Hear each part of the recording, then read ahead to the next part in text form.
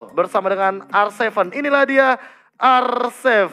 Nah, loh, R7 gimana nih? Kayaknya udah lebih stabil, udah lebih nyaman. Gameplaynya juga udah lebih masuk dan kalau misalkan kita bilang um, RRQ Hoshi menang 2-0 terhadap pemuncak klasmen. Ini udah di-expect gak sih sama R7 atau sebenarnya kayak ini kayaknya ada yang aneh gitu loh dari Altit kayak belum mengeluarkan sepenuhnya kekuatan mereka. Gimana kalau dari pandangan R7? Di udah expect sih enggak ya cuman kita ya melakukan yang terbaik aja apalagi di patch sekarang itu kayak kita comfortable banget sih main Oke. Okay. Jadi ya nyaman lah di patch ini gitu. Lebih nice nyaman one. di patch ini. Wih, nice one. Oke. Okay. Berarti dengan dua damage dealer ini berarti emang sangat cocok untuk Araraki Hoshi ya?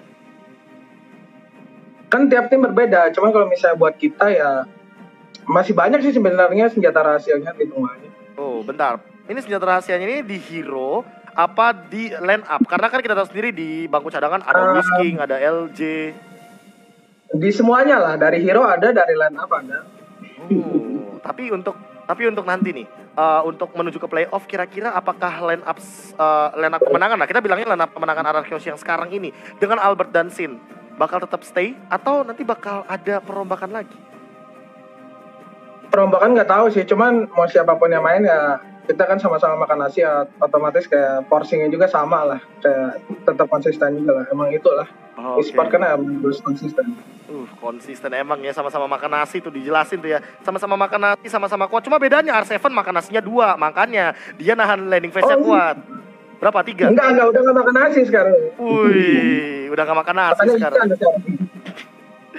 oke siap R7 tapi aku uh, ini mempertanyakan sesuatu sih. Mungkin kayak dengan hadirnya hero-hero reform nih kayak Saber tadi dipakai sama Celibo ya kan. Ada Barats juga nih. Dengan hadirnya hero-hero reform kayak gini sih sebenarnya RRQ Hoshi punya strategi juga gak sih dengan hero reform seperti Saber, Zilong atau Mia jangan jangan-jangan? Hero reform ya. Kalau di group stage ditunjukin lumayan rugi sih nunggu di playoff aja kan. Uh, kalau di regular season kayak gini lumayan rugi apalagi minggu ke-8 ya.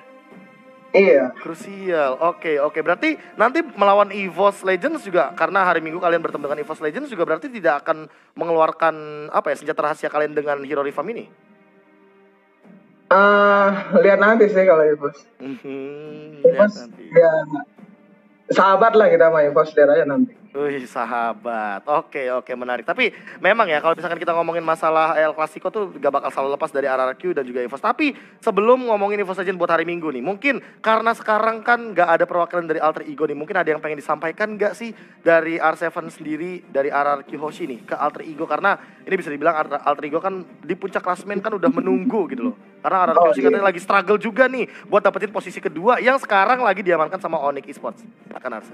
Ya untuk Alter Ego ya gue ngelihatnya sih gue kayak salut ya kayak perubah, apa perubahan mereka dari season ke season kayak benar-benar menunjukkan yang performa terbaiknya sih sekarang jadi kayak gue juga seneng gitu ngelawan gitu hmm.